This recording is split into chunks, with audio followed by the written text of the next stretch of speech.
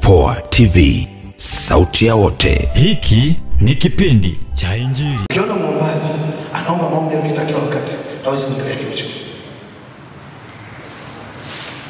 Umenisikia? Ukiona mwombaji muda wote wewe ni maombi ya vita, huwezi kuendelea kiuchumi. Tunaanza?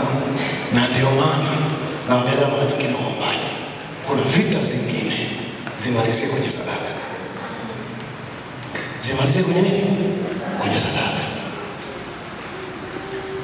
Umeingia kwenye ugomvi, uelewi kinachoendelea, mwambie Mungu, sio kinachoendelea na sio inatokaje, ila sadaka yangu hii, ukiiona hii sadaka, wewe utajua cha kufanya. Sikiliza balaa yake. Mungu anaanza kutafuta nani kwanza mwanao.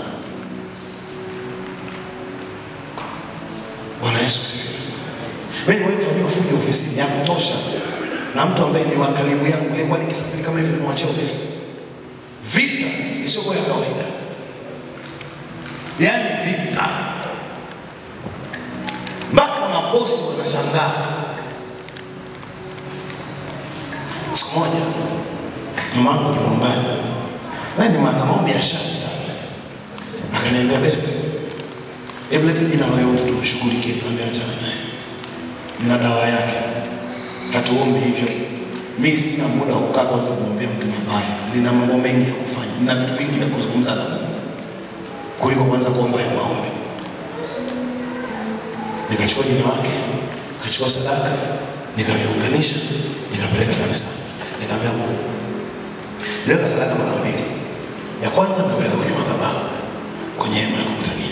Ya pili nikatafuta mtumishi ambaye anapiga maombi kuliko kawaida, nikampeleka, nikamwambia brother, sadaka yangu hii, kuna jambo langu nataka Mungu nisaidie.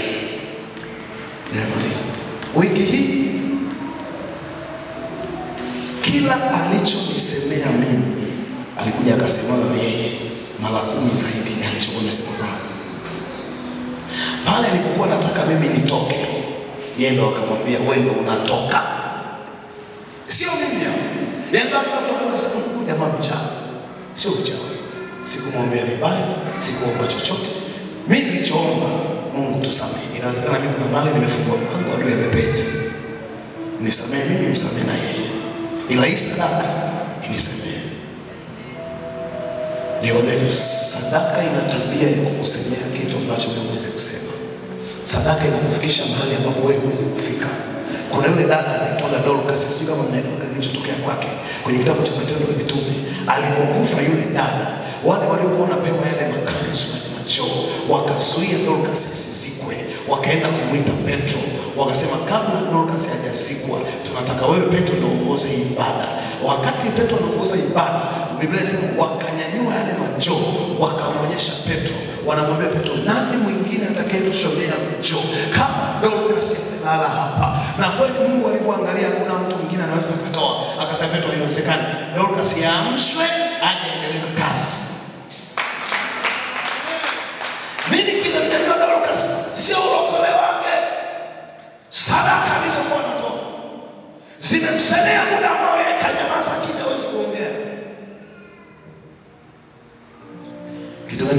kilimkutanisha Yesu Zakayo? Sadaka. Leo nikuachie huu mwenye kwenda kufanya. Yesu mahali popote alipoenda akamtembelea mtu nyumbani kwake, ukiondoa ukina Lazaro, ni sehemu ya watu wenye fedha.